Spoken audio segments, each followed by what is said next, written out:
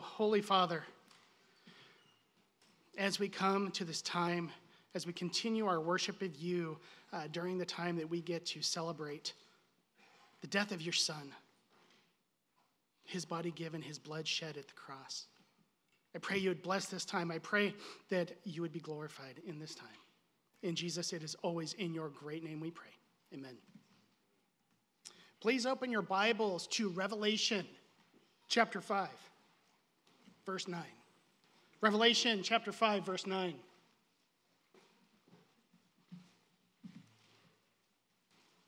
Revelation chapters 4 and 5 set the stage for the divine judgment that is about to be poured out on sinful humanity. About to be poured out on sinful humanity that will culminate in the physical return of Christ to reign on the earth.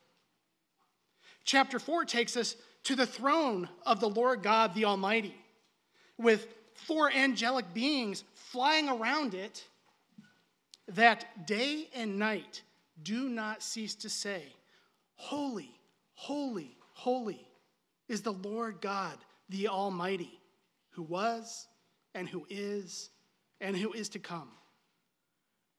And there are 24 elders who fall down and worship him, saying, Worthy are you, our Lord and our God, to receive glory and honor and power. For you created all things, and because of your will they existed and were created. Then in chapter 5, we have a book or a scroll that is in the right hand of the Almighty. And then the question in heaven is who is worthy to open the book and to break its seals? Who has the worthiness of character to open it, break its seals, thus ushering in divine holy wrath upon a rebellious world? A search of the entire universe is made and yields no results. No one is found worthy. Then the attention of heaven is upon a lamb standing as if slain. And when he takes the scroll from the one sitting on the throne, the focus of heaven's worship changes to the lamb. And that brings us to our verse today. Please follow along as I read Revelation chapter 5, verse 9. And they sang a new song, saying, Worthy are you to take the book and to break its seals, for you were slain and purchased for God with your blood men from every tribe and tongue and people and nation. Jesus Christ, the second person of the triune God, is the Lamb. And the four angelic beings and the 24 elders declare that he is worthy he is worthy to take the book and to break its seals. He is worthy to usher in and carry out divine judgment upon a rebellious world. He is worthy to take and establish his kingdom on the earth. He alone is worthy. The rest of verse 9 explains why he is worthy.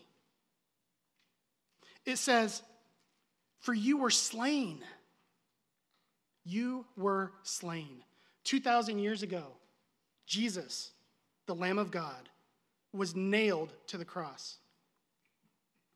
The innocent lamb was slaughtered.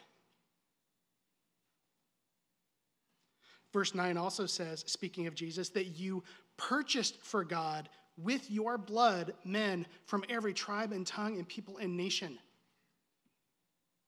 Jesus purchased believers for God. They are now his property. They no longer have sin as their slave master, but they are now enslaved to a merciful and gracious Almighty God. Verse 9 also says that it was with Jesus' blood that believers were purchased. The blood that Jesus shed at the cross was the currency used to purchase believers out of the slave market of sin.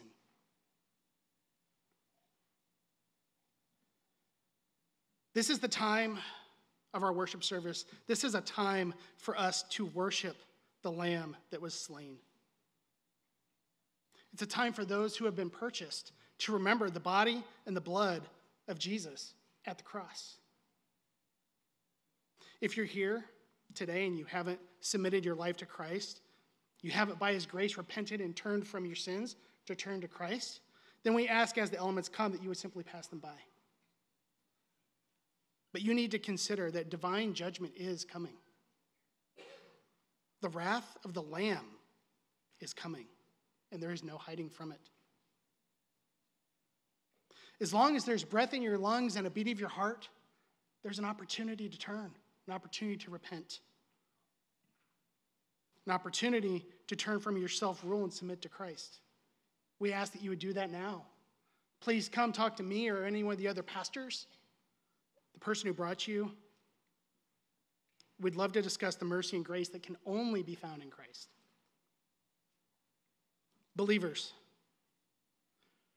You've been purchased. You've been purchased by Christ for God. And the price of your purchase was the infinitely valuable blood of our Savior, the Lord Jesus Christ, the Lamb of God. As you consider this, let's let our worship join with heaven's with heaven's worship as it builds towards the crescendo found in verses 11 through 14. Then I looked and I heard the voice of many angels around the throne, and the living creatures and the elders, and the number of them was myriads of myriads and thousands of thousands, saying with a loud voice, Worthy is the Lamb that was slain to receive power and riches and wisdom and honor and glory and blessing.